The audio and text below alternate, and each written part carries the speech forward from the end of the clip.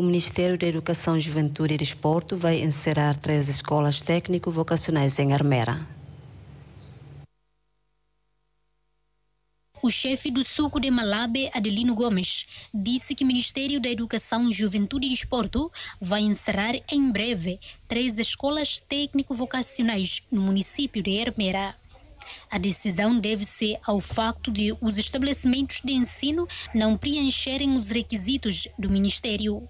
O líder comunitário pede ao Ministério da Educação para ponderar a decisão por considerar que a ação pode desmotivar muitos estudantes para estudar.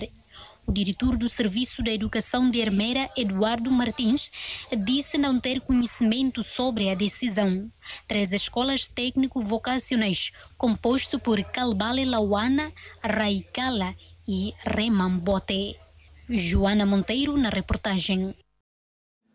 Hai, telespectadores atuhedan informação atuais no factuais que tal lua inscreva no hanehan botão notificação ou de comentário no faz tutan ba merecê-lo.